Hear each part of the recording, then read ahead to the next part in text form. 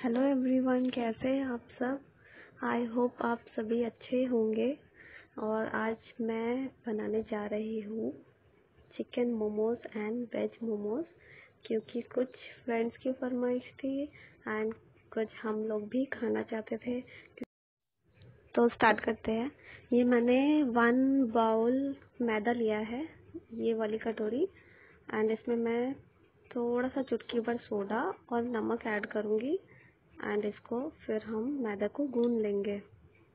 Chicken stuffing में हमने जो जो ऐड किया है, वो मैंने एक फ़ोटो ऐड की है। उसमें सारा डिस्क्रिप्शन लिखा है क्या क्या मैंने ऐड किया है। साइड में ही मैंने चटनी बॉईल करने के लिए तीन टमाटर और तीन साबुत मिर्ची उबालने के लिए रखी है। ब्लांच हो जाए जिससे ये आपके सारे इंग्रेडिएंट है। इसको पॉज करके आप ले सकते हैं।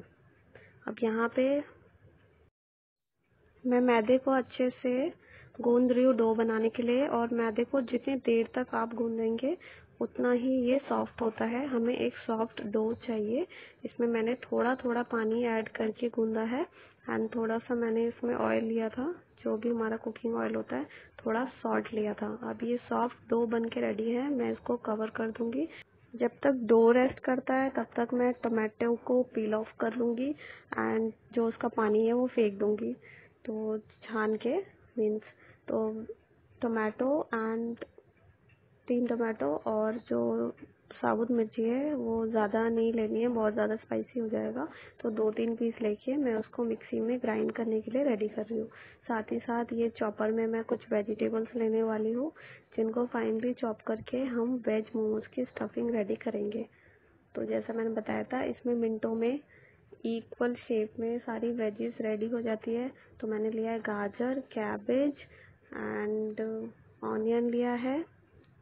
कुछ गार्लिक क्लोव्स लिए हैं। अब इनको एक साथ मैं ऑनियन को मैंने बाद में चॉप किया है क्योंकि इसमें एक साथ इतनी वेजेस नहीं आ पाएँगी तो चॉपिंग में थोड़ी प्रॉब्लम होती है। अब मैंने इसमें हरी मिर्ची भी डाली है, तीन पीसेस जो थोड़ी स्पाइसी है। एंड इसको चॉप करने के बाद मैंने दो ऑनियन चॉप किया है। एक ऑनियन मैं, मैंने लिया है चिकन की स्टफिंग के लिए और ये सारा गार्लिक चिकन की स्टफिंग में जाएगा। इतना ही गार्लिक मैंने वेज के लिए भी लिया है, जो वेज की स्टफिंग है। रिमेंबर फ्रेंड्स अब ये जो वेज की स्टफिंग रेडी हो गई है इसमें मैंने पहले थोड़ा सॉल्ट डाला था एंड फाइव टेन मिनट्स के लिए छोड़ दिया था। तो इसका जितना भी एक्सेस वाटर था वो रिलीज़ हो गया था। फिर मैंने एक सूती कपड़े में लेके उसको स्क्वीज़ कर लिया, जो कि बहुत इंपॉर्टेंट है। अदरवाइज़ आप मोमोज में जब स्टफिंग फिल करेंगे तो वो ठीक से बाइंड नहीं होंगे और वो पानी की वजह से फिसलता रहेगा। अब ये मैंने जो स्टफिंग ली है, ये आफ्टर स्क्वीजिंग लिया है, जिसमें से सॉल्ट ऑलरेडी जा चुका है। तो मैंने इसमें अलग से फिर सॉल्ट ऐड किया एंड थोड़ा चॉप्ड गार्लिक ऐड किया। एंड इसमें थोड़ा सा सोया सॉस जैसे आपने देखा है, और थोड़ा सा विनेगर हाफ़ टेबल स्पून आप मान सकते हैं, ज़्यादा लेने से फिर वो सिट्रस फ्लेवर देता है। तो ये सारा चीज़ें डालने के बाद मैंने इसको अच्छे से मिक्स दे दिया। एंड अब हम मोमोज बनाने के लिए रेडी करेंगे।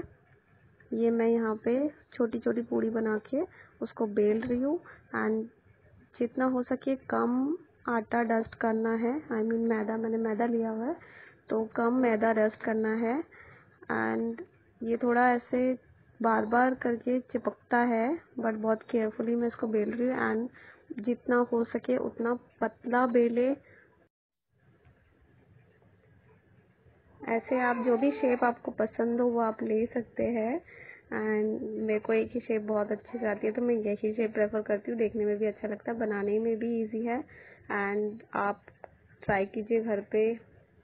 बहुत वैसे सबको पसंद आया था, मैंने अपने फ्रेंड्स को भेजा था फैमिली को दिया था तो उनको भी अच्छा लगा। And we had enjoyed a lot तो आप ट्राई कीजिए फैमिली फ्रेंड्स को घर पर बुलाइए। एंड पार्टी कीजिए, मोमोज।